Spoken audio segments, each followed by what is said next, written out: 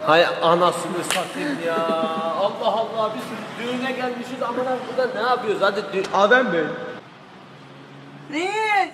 Seviyoruz seni. Dişleri bir ipara yap.